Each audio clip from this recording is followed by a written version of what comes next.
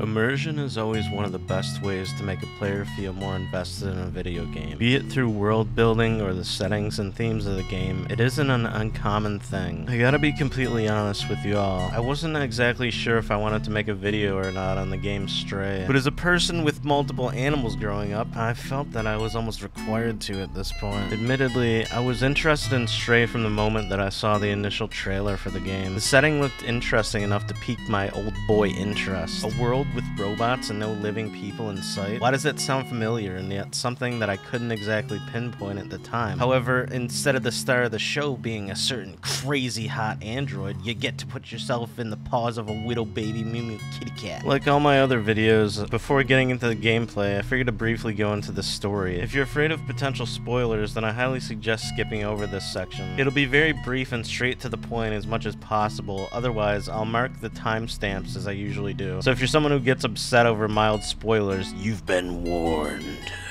Anyways, in Stray, you play as an orange tabby cap who's separated from its family and thrown into a dystopian cyberpunky area filled with robots and little bug creatures called Zurks. Along the way, the cat is directed to a droid who goes by B12. From there, it's a case of B12 rediscovering their lost memory while the two venture across a dead city in order to find a way back to the surface. The best way to describe the story is one that's more about learning about the world through the journey versus actually getting to the destination. Even though the game game is relatively short, taking me around 5 or so hours to complete. There's an apparent sense of bond building between B12 and the cat. I generally don't think I expected much going into the game, but by the end, and I know that this probably sounds incredibly strange considering that the cat doesn't really converse other than meowing, but I found the connection between the two to be as strong as something like Jack and BT's relationship in Titanfall 2. When it comes to the gameplay, Stray isn't exactly revolutionary, but it's still pretty fun. I do have some issues here and there, but it isn't really anything that detracts from the overall experience of the game. The platforming, for example, can be a little more than finicky at times. It's not perfect and it can be a little annoying due to how it works. You're essentially glued to everything. On one hand, the cat can't actually fall to its death or anything, but on the other, it can make getting to certain legends or platforms relatively annoying. On the flip side of things, however, when you are able to figure out what you're supposed to do, there is a relatively satisfying and rewarding sense of accomplishment to be gained from playing the game. When it comes to other aspects aspects of the game, there is somewhat of a combat system, though it's a bit mundane. Similar to something like Alan Wake's flashlight mechanic, you do get an ability to flash a UV light to kill the Zurk enemies. These are basically little bugs that look similar to the head crabs from the Half-Life series. Flashing a light at them for a certain length causes them to basically pop and die. It's simple and not really anything too exciting, but it does give you an element of variety as opposed to just running away from them in the chase sequences over and over again. Other than that, you also have certain areas where you need to stealthily find a path through without alerting enemies. Once again, none of this is really anything mind-blowing, but the game has a constant feeling of progression to make it seem like you're actually doing something meaningful. What I personally love about Stray is really the atmosphere. The game has a soothing soundtrack to coincide with areas that feel relatively desolate and bleak. Some of the environments give off vibes of being long-forgotten places lost to time, and others are well lit and vibrant. A lot of the game is super well detailed detailed and incredibly methodical in design. And then there are the world's inhabitants themselves. This is something that I felt was similar to the robots of NieR Automata, where the robots seemed like they were trying to be human. This is something strengthened by the interactions throughout the game as well. Every so often you might see a comment from B12 about the robots and the recreation of society and all that nature. It's not something that I personally expected because I honestly didn't go into Stray thinking that I was going to be introduced to a crash course on existentialism after messing around doing cat things.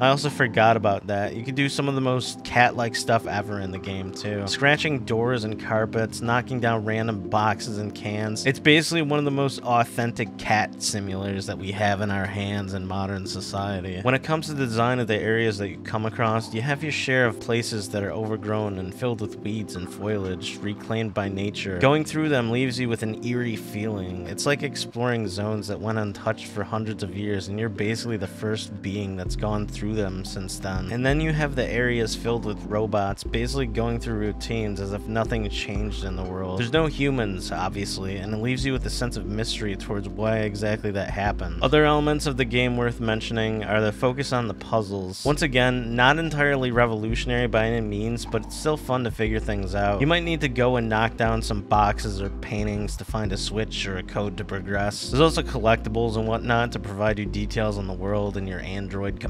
past. Surprisingly, Stray is actually a good example of a game that does collectibles well. It provides insight to the world and how things got to the way that they are when you finally get to see things for yourself. Overall, Stray is easily one of my favorite games of 2022 and maybe even one of my favorite games ever. The atmosphere and world building of the game are nearly flawless, and when you combine this with the stunning designs of the areas with a relaxed soundtrack, you have a recipe for one of the best adventure games that I've personally played in a very long time. Certain aspects can be annoying and some people might take issues with the game being too easy, but like I said, it's hard for me to find that as a detraction from the quality of the game. Even if some things are overly simplified, the game's story and setting alone makes Stray worth playing for anyone who enjoys chill puzzle games. I don't say this too often, but I am surprised with the game and feel comfortable enough that I highly recommend it. Stray does more than enough to warrant its price tag with a memorable experience that I personally can say is one of the best stories that I've seen in quite a while. And for a game where you're mostly doing just cat things, that's saying a lot.